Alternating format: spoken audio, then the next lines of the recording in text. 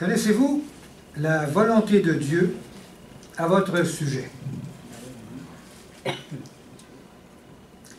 Au fait, est-ce que vous lui avez déjà demandé quelle était sa volonté pour vous?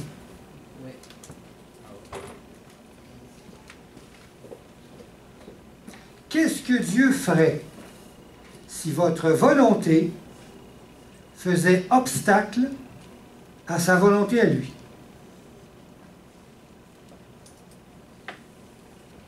Qu'est-ce que Dieu ferait? Euh, il y a en tête euh, un, vidéo, un court vidéo publicitaire que j'ai vu sur YouTube. Vous l'avez sûrement déjà vu. On voyait un homme qui poussait un panier d'épicerie dans les allées d'un supermarché, en compagnie de son jeune fils, sûrement âgé de 8 ans, qui était avec lui. Alors le jeune fils prend un paquet de confiserie, des bonbons, et le dépose dans le panier du père. Mais son père lui fait signe que non, et replace le paquet sur l'étagère. Alors là, on voit la scène. L'enfant se met à hurler, il crie de tout bord, il renverse tout ce qu'il voit sur les étagères, il se jette à terre, crise d'hystérie, ses bras et ses jambes font aller de tous côtés.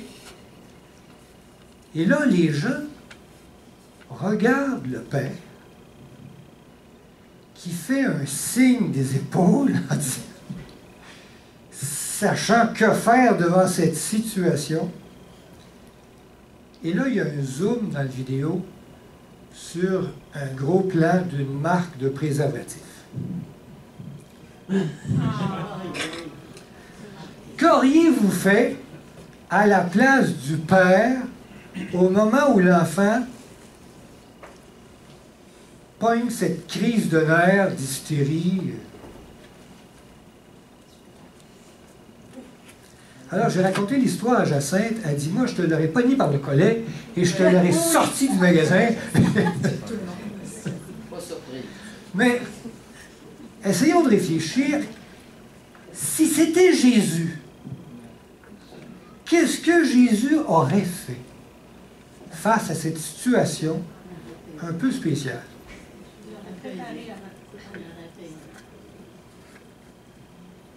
Sommes-nous peut-être comme ce fils hystérique qui croit tout avoir en insistant démesurément auprès de son père? Et plus la crise est forte, plus il pense que son père va lui donner son paquet de bonbons qu'il voulait mettre dans le panier. Personnellement, je crois que pour avancer dans notre sanctification avec Dieu, il est primordial de rechercher la volonté parfaite du Père, tout en renonçant à nos désirs personnels. Avant de débuter, permettez-moi, on va faire une prière. Père céleste, il y a des gens ici qui résistent encore à ta volonté. Puisses-tu les libérer de cette dépendance, cette dépendance à l'ego. Aide-les à grandir, à grandir à tes côtés. Guéris leur incrédulité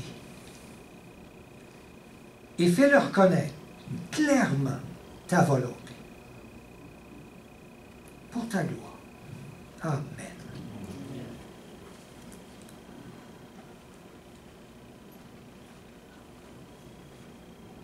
Vous aimez les histoires? Alors, euh, pour débuter ma réflexion, on va, je vais vous raconter une parabole.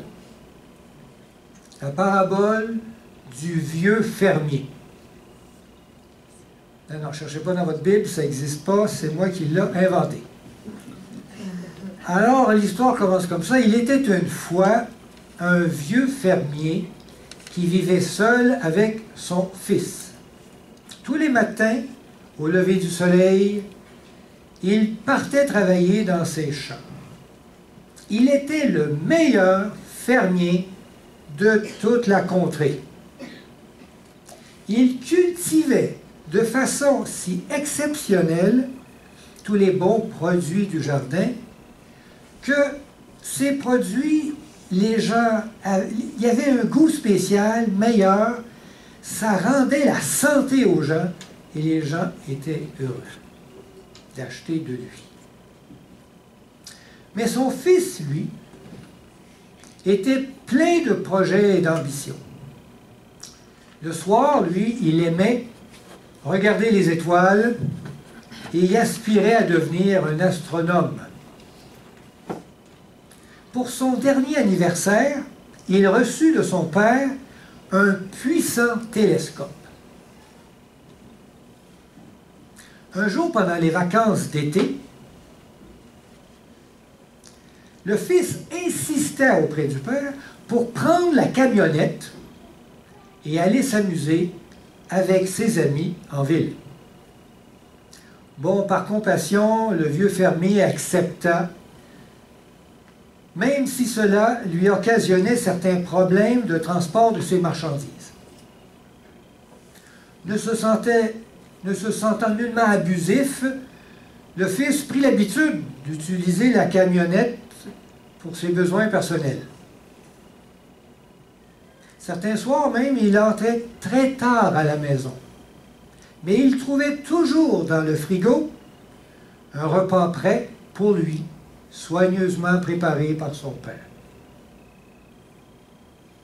Au bout d'un certain temps, le fils tomba malade, mais gravement malade. Son père délaissa son travail régulier à la ferme pour s'occuper de son fils jusqu'à son rétablissement. Et ça a duré plusieurs jours.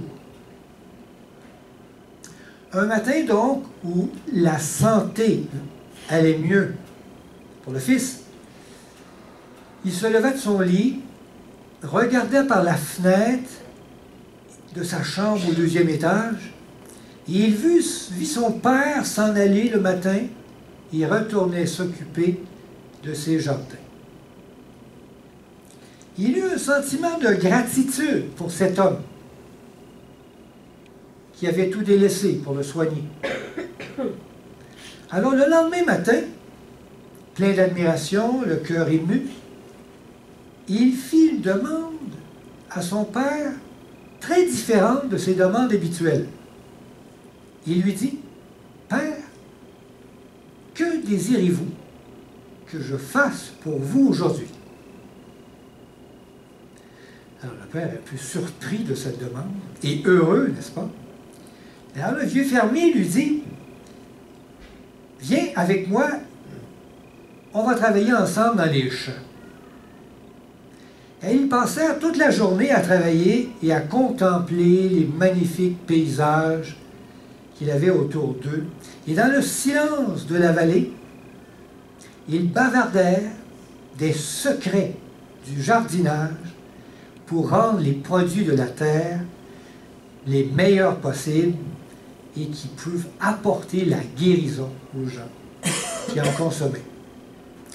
Le soir venu de cette journée, il comprit l'importance de la camionnette pour ramasser les produits et les remettre prêts le lendemain pour la vente au marché. Le temps passa et le fils, reconnaissant la grandeur du travail de son père, il devint un fermier plutôt qu'un astronome. Par sa vigueur et son courage, les bénédictions de son travail apportèrent la santé à beaucoup de personnes autour, et son père se faisait vieux, et il finit par prendre le travail de son père. Amen. Belle histoire, ça finit bien. C'est rare les histoires que je fais qui finissent comme ça. Amen. Alors c'est une parabole. Hein? Alors, dans cette parabole, le vieux fermier représente, ben oui, le Père céleste, qui demeure toujours actif pour nous bénir. Ses efforts pour y parvenir sont constants et nous recevons quotidiennement tous ses bienfaits. Le jeune fils, qu'est-ce qu'il représente? Bien oui, les, membres de l'Église, hein, qui ont des activités personnelles parfois très différentes de leur Père céleste. Ils ont l'habitude de vivre dans une certaine insouciance des objectifs de leur maître. Ils désirent réaliser des choses merveilleuses afin de satisfaire leurs propres ambitions. Et dans sa bonté, Dieu les supporte et les aide même à se réaliser. Il achète des télescopes. Et dans sa bonté, Dieu les supporte. Mais il les aime. Mais des fois, ils deviennent un peu ingrats à demander des choses au Père comme la camionnette, même si le Père en a besoin pour d'autres choses, pour son travail. Hein. Et des fois, ça entrave les plans du Père. Mais le Père, dans sa bonté, laisse la camionnette aux jeunes. Mais dans l'histoire, heureusement, il arrive des circonstances de la vie qui nous forcent à nous arrêter et à remarquer tous les bienfaits de Dieu. Ces moments privilégiés nous permettent d'ouvrir notre esprit et d'entrer en communion intime avec notre Père céleste. Vous savez, il y en a dans la société, c'est en prison qui ont découvert que Dieu les aime. Parfois, Dieu est obligé de forcer un arrêt dans notre vie pour qu'on puisse s'apercevoir jusqu'à quel point Dieu nous bénit. Alors nos regards se tournent alors vers celui qui nous compte de ses attentions. Plein de gratitude, nos pensées se transforment. Son amour nous attire à demeurer près de lui. Nos prières ne sont même plus les mêmes. Au lieu de demander à Dieu de nous bénir dans nos projets, on finit par lui demander alors ce qu'on peut faire nous pour l'aider dans ses projets à lui. Et en prenant le temps d'écouter sa voix, Dieu nous révèle ses plans. En nous invitant à participer à ses activités à lui. Il désire faire de nous des hommes et des femmes qui apporteront la santé spirituelle à tous ceux qui nous entourent. Car nous sommes son ouvrage, ayant été créé en Jésus-Christ pour de bonnes œuvres que Dieu a préparées d'avance afin que nous les pratiquions. Éphésiens 2.10. Il est bon de savoir, dans cette histoire, que quels que soient nos projets, Dieu nous aide à nous réaliser pleinement. Il nous aime, même si nos projets sont contre lui. Il désire nous soutenir et nous protéger dans toutes nos folies. Il ne nous laissera jamais tomber, quel que soit le sentier sur lequel nous avons décidé d'aller. Même s'il sait que cette direction est mauvaise. Ben, ceux qui ont des enfants, vous savez que si votre fils va quelque part, vous savez que c'est pas bon, ça vous fait quoi? Vous le laissez aller pareil, mais vous ferez tout pour lui, n'est-ce pas? Mais Dieu attend que nous en prendions conscience, prenions conscience de la folie de nos projets.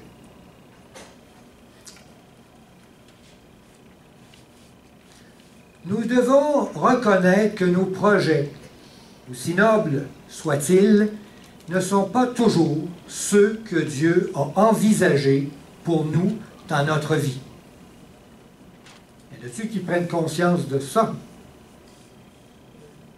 Le Seigneur a de grands projets pour chacun de nous et ils sont parfois contraires à nos projets personnels.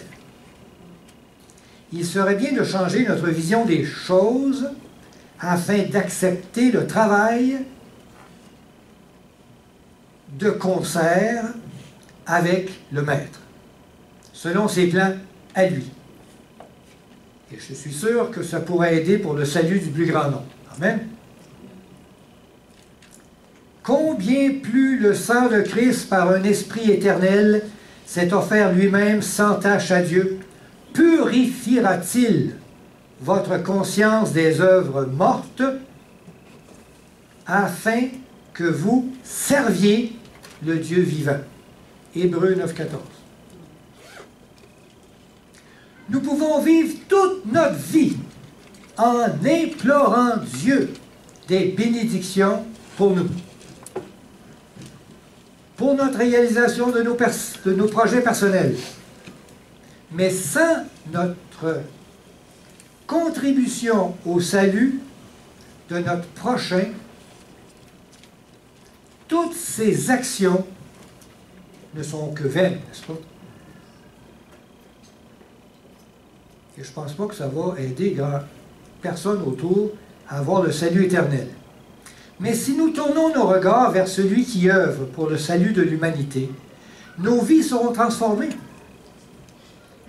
Comme le Fils qui a regardé par la fenêtre de sa chambre le travail de son Père. Et notre travail pourra peut-être changer à l'image de celui que l'on contemple. Exact. Et nous allons devenir de plus en plus actifs dans ses plans à lui. Le Seigneur attend que son Église désire enfin prendre part à son œuvre à lui. Alors nous verrons de grandes choses, je pense, se réaliser pour le bonheur du plus grand nombre. En vérité, en vérité, je vous le dis, disait Jésus, celui qui croit en moi fera aussi les œuvres que je fais. Ah, il. Et il en fera même de plus grandes. Jean 14, 12. Alors connaissez-vous la volonté de Dieu à votre sujet? Il serait peut-être temps de lui demander. Et dans vos prières, de dire que voulez-vous, Seigneur, que je fasse pour vous aujourd'hui? Amen. Comme le fils du fermier, nous devons apprendre du Père quel doit être notre travail et surtout comment être bon dans ce travail. Il y a toutes sortes de fermiers, hein? mais ceux qui connaissent les trucs ont appris de leur maître. Le Père attend que nous acceptions donc de travailler dans ses œuvres sous ses ordres, sous ses instructions à lui. Et là, il va vraiment être un bon instructeur pour être un bon fermier. Mais la plupart des gens n'apprécient pas sa juste valeur de travailler dans la boîte, puis de travailler dans les champs, n'est-ce pas? Et le travail auprès du Père, il pense que c'est un travail humiliant, décourageant. C'est vrai que c'est pas facile de transformer l'esprit dégénéré de quelqu'un, l'esprit de quelqu'un qui aime le péché, à devenir bon et altruiste. D'amener un esprit terrestre égoïste à comprendre l'amour ineffable de Jésus-Christ les charmes de sa grâce, l'excellence de Dieu, afin que l'âme soit imprégnée de l'amour divin et captivée par les mystères célestes.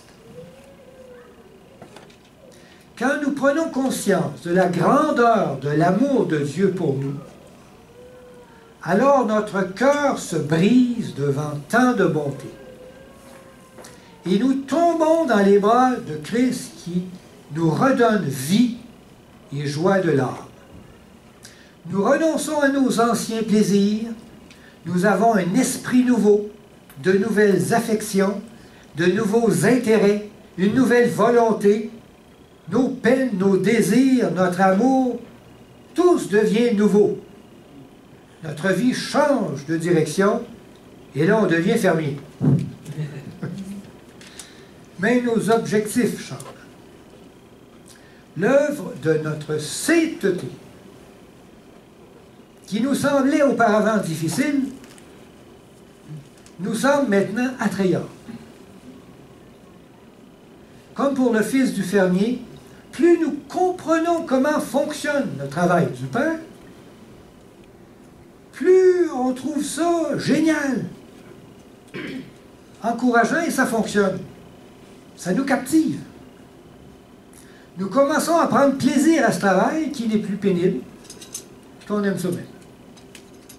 Ce travail dans la sanctification aboutira à la maîtrise ultime de la droiture. Pour cela, nous avons besoin donc de connaître la volonté du maître artisan de notre vie. Car je suis descendu du ciel, dit Jésus, non pour faire ma volonté, mais la volonté de celui qui m'a envoyé. Jean 6, 38. C'est important de savoir ce que nous devons faire pour être utile à Dieu. Car il n'y a pas de sanctification dans notre propre volonté. Ceux qui me disent Seigneur, Seigneur n'entreront pas tous dans le royaume des cieux, mais celui-là seul qui fait la volonté de mon Père qui est dans les cieux. Matthieu 7, 21. Faire la volonté de Dieu, c'est le début de notre sanctification. Ce que Dieu veut, c'est votre sanctification, c'est que vous vous absteniez de toute impudicité. 1 Thessaloniciens 4 tours. Et cette sanctification se réalise dans l'abandon de notre propre volonté. Cette volonté qui est la nôtre, cette volonté malsaine, qui nous amène dans l'impudicité. Nous devons nous libérer des convoitises mondaines qui nous semblent inoffensives et entrer dans la volonté de Dieu, qui nous semble ridicule. Ne vous conformez pas au siècle présent, mais soyez transformés par le renouvellement de l'intelligence, afin que vous discerniez quelle est la volonté de Dieu, ce qui est bon, agréable et parfait. Romains 12, 2. Si nous persistons dans nos prières à demander à Dieu qu'il nous aide dans nos projets personnels, je suis convaincu que Dieu vous donnera selon vos désirs. Parce qu'il vous aime. Mais malheureusement, cela attirera la malédiction sur nous tous. Croyez-vous, disons les choses claires, croyez-vous que Dieu peut vous donner ce qui n'est pas bon pour vous parce que vous insistez à le demander? Alors, vous n'allez pas me croire si je vous dis oui, on va lire un texte dans les Saintes Écritures, dans Ézéchiel, chapitre 20. Donc, Ézéchiel, chapitre 20, verset 24. Parce qu'il ne mirent pas en pratique mes ordonnances, parce qu'ils rejetèrent mes préceptes, profanèrent mes sabbats, et tournèrent leurs yeux vers les idoles de leur père, je leur donnais aussi des préceptes qui n'étaient pas bons. et des ordonnances par lesquelles ils ne pouvaient vivre. 24 et 25. Dieu donna au peuple ce qui n'était pas bon pour eux, parce qu'ils persistèrent à faire leur propre volonté. Seigneur est bon? Très bon. Souvent, c'est cela que nous faisons tous. Nous ne demandons pas à Dieu quelle est sa volonté, mais comme des enfants pleurnichards, nous l'implorons de nous donner ce que nous désirons. Puis on insiste. Si vous placez dans votre panier d'épicerie une caisse de bière, Dieu ne la replacera pas sur l'étagère. Il vous laissera faire et espérera qu'un jour vous appreniez quelle est sa volonté à lui. Vous n'avez pas remarqué ça?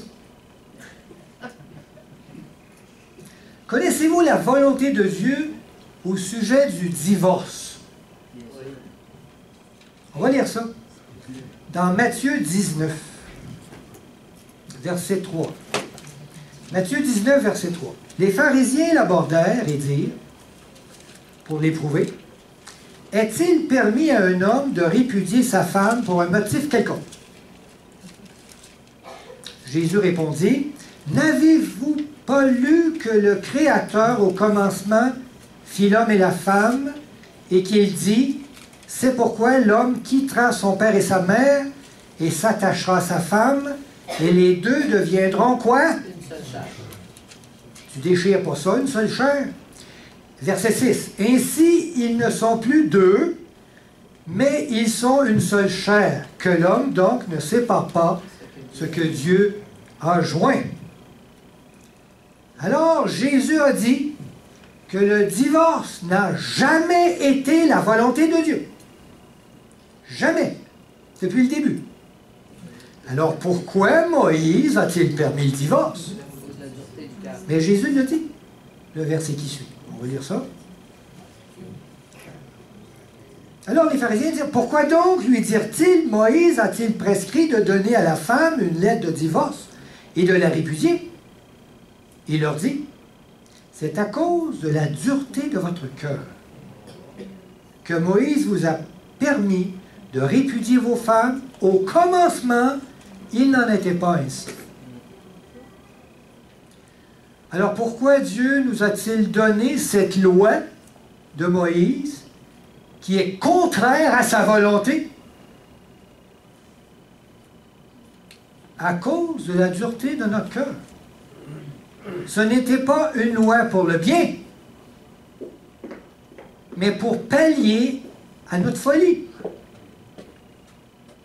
La volonté parfaite de Dieu était qu'il n'y ait jamais de divorce. Mais Dieu a permis le divorce à cause de la dureté du cœur. Dieu a permis donc à l'homme d'exercer sa propre volonté et d'en subir les, les conséquences néfastes. C'est épouvantable les conséquences néfastes, surtout pour les enfants. Connaissez-vous la volonté de Dieu au sujet du premier roi que Samuel a oint, que le peuple a demandé, fait Samuel? On va lire ça dans le livre de Samuel. Intéressant cette histoire. 1 Samuel 8, 19. Va dans le livre de Samuel. 1 Samuel 8, 19. Le peuple refusa d'écouter la voix de Samuel. Non, dirent-ils, mais il y aura un roi sur nous. Et nous aussi, nous serons comme toutes les nations. Notre roi nous jugera, il marchera à notre terre et il conduira nos guerres. Samuel, après avoir entendu toutes les paroles du peuple, les redit aux oreilles de l'Éternel. Il les avait sûrement déjà entendues, mais il les redit. Et l'Éternel, verset 22, dit à Samuel, écoute leur voix et établis un roi sur eux. Dieu dit à Samuel de quoi? Va leur oindre un roi. Et verset 7, car ce n'est pas moi qu'il rejette, car ce n'est pas toi, excusez-moi, qu'il rejette, c'est moi qu'il rejette, afin que je ne règne plus sur eux. Le peuple n'a pas recherché la volonté de Dieu. Le peuple désirait un roi. Alors Dieu acquiesça à leur demande. Est-ce que ça a été bon pour Israël? Non! Ça a été leur pire cauchemar. Ces rois ont dérouté le peuple vers une apostasie générale. Cette volonté humaine d'avoir un roi était pour Israël une autodestruction. Et Osée le dit. Osée a osé le dire. On lit ça dans Osée 13, 9. Le prophète. Osée dit Ce qui cause ta ruine, il parle à Israël, à Israël, c'est que tu as été contre moi, contre celui qui pouvait te secourir. Ce verset nous fait comprendre la gravité d'implorer Dieu de nous donner ce que notre cœur charnel désire.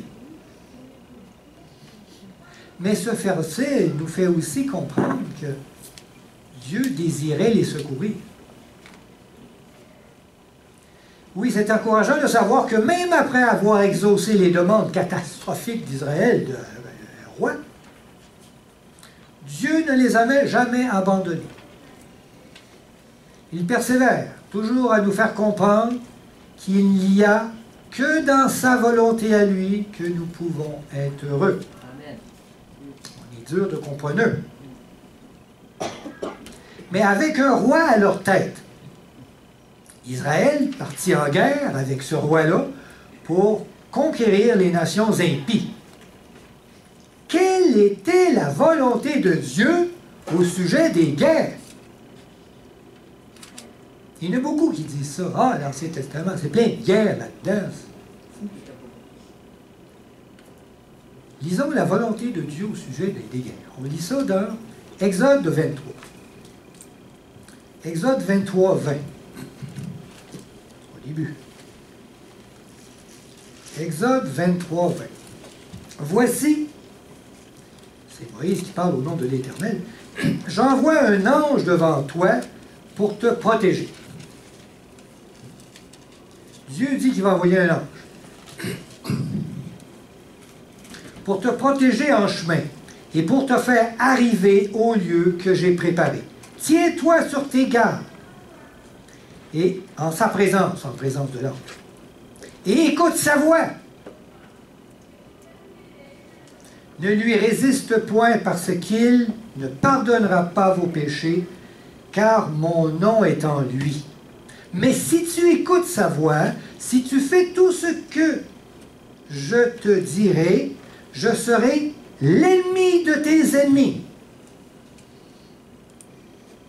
l'adversaire de tes adversaires.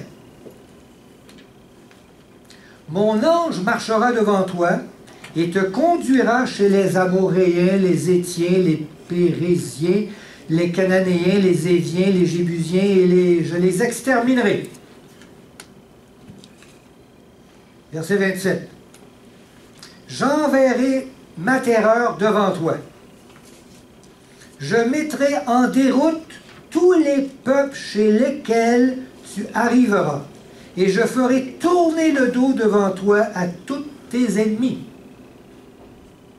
J'enverrai même les frelons et les guêpes, devant toi, et ils chasseront de loin de ta face les Éviens, les Cananéens et les Étiens. Ben, dans ce temps-là, c'était des peuples importants sûrement. Dieu ne désirait pas qu'Israël fasse la guerre. Jamais Dieu a voulu ça. Si Israël avait écouté la voix de Dieu, alors Dieu aurait combattu à place d'Israël. Le plan de Dieu pour eux, c'est qu'ils n'auraient pas à bouger le petit doigt pour faire sortir les ennemis de leur vie. C'était ça le plan de Dieu. Jamais Israël n'aurait rentré en guerre. Jamais quelqu'un serait mort à la guerre. C'était cela le plan de Dieu. Et pourtant, Israël voulait un roi pour marcher à leur tête et les conduire dans les guerres. Catastrophe! Dieu a dû leur donner des instructions hein, d'aller détruire les nations impies. Il a utilisé leur propre désir pour orchestrer l'anéantissement des nations rebelles.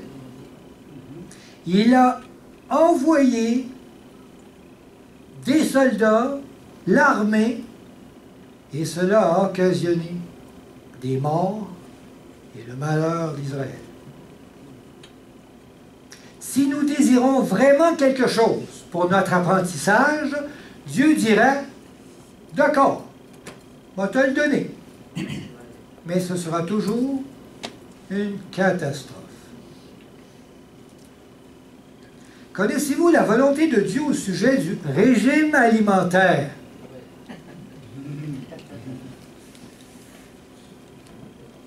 Israël avait de la misère avec ça. On va lire ça dans Nombre 11, un petit peu plus. C'est l'histoire de la manne dans le désert. Il était tanné de manger ça, eux autres. Ombre 11, 18. Tu diras au peuple, sanctifiez-vous pour demain et vous mangerez de la viande, puisque vous avez pleuré aux oreilles de l'Éternel en disant, qui nous fera manger de la viande? Car nous étions bien en Égypte. L'Éternel vous donnera de la viande et vous en mangerez.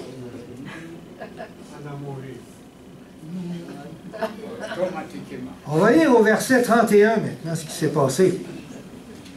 L'Éternel fit souffler de la mer un vent qui amena des cailles, des oiseaux.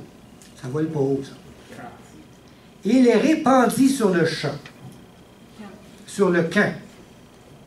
Environ une journée de chemin d'un côté et environ une journée de chemin de l'autre côté. Tout autour du camp. Il y en avait deux coudées. Pendant les journées de marche, ça c'est de la viande au-dessus de la surface de la terre. Pendant tout ce jour et toute la nuit, qu'est-ce qu'il a dit Israël? Hey, on laisse pas passer ça. Hey, demain, il n'y en aura peut-être plus. Ils ont passé la nuit. Pendant toute la journée, toute la nuit, et pendant toute la journée du lendemain, le peuple se leva et ramassa des cailles. Celui qui en avait ramassé le moins en avait dix homères. Un homère, c'est une grosse. C'est gros. Dix. Celui qui en avait le moins. Ils les étendirent tout autour du, temps, du camp. Il y en avait tellement, ils ne pouvaient les mettre. Comme la chair était encore dans leurs dents, sans être mâchée, la colère de l'Éternel s'enflamma contre le peuple, et l'Éternel frappa le peuple d'une grande plaie, d'une très grande plaie. On est dur de comprendre. Le peuple était blasé de manger de la manne. La manne, c'était le blé du ciel que Dieu leur donna chaque jour. Un bon régime végétalien. T'as écœuré de ça. tu sais, Ils veulent la, la viande. Ils ont pleuré comme des enfants. Euh, je veux manger de la viande. Alors Dieu a dit quoi? D'accord, d'accord. Va t'en donner, la viande. Et ça a été pour eux une Catastrophe. Il leur a donné tout ce qu'ils voulaient et beaucoup en sont morts. Morts de s'être empiffrés de viande. Leur désir assouvi a créé leur perte, a causé leur perte. Même si Dieu vous bénit en remplissant votre table de nourriture, cela n'est peut-être pas sa volonté. Pouvez-vous comprendre cela? Est-il plus important de faire la volonté de Dieu ou d'assouvir nos désirs charnels? Parlons de Jésus. Sa volonté était sûrement excellente. Et même très excellente. Alors Jésus a-t-il demandé à son Père d'accomplir des miracles selon sa volonté très excellente? Non. Jamais. Car je suis descendu du ciel pour faire ma volonté.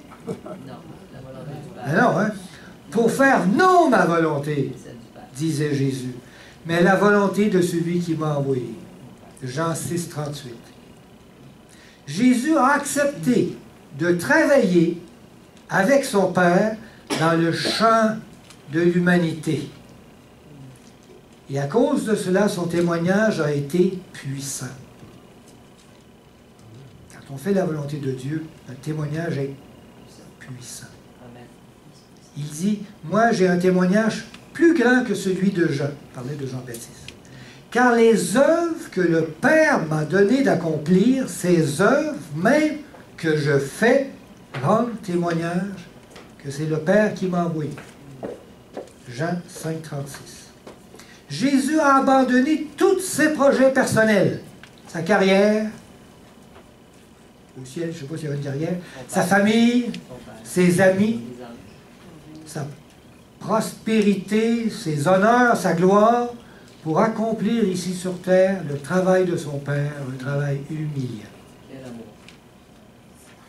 Jésus leur dit, ma nourriture est de faire la volonté de celui qui m'a envoyé et d'accomplir son œuvre. Jean 4, 34. Ayez en vous, disait Paul, les sentiments qui étaient en Jésus-Christ. Philippiens 2, 5. Que ta volonté soit faite. Dieu cherche un peuple qui lui obéisse parfaitement selon Sa volonté. à lui. Malheureusement, on dirait que ce ne sera pas le cas. Et que ce sera seulement qu'un petit reste à la fin qui sera habitué de dire Seigneur, que veux-tu que je fasse?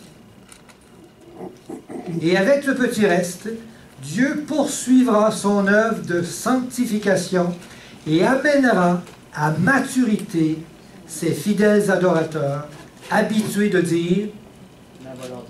Que veux-tu que je fasse?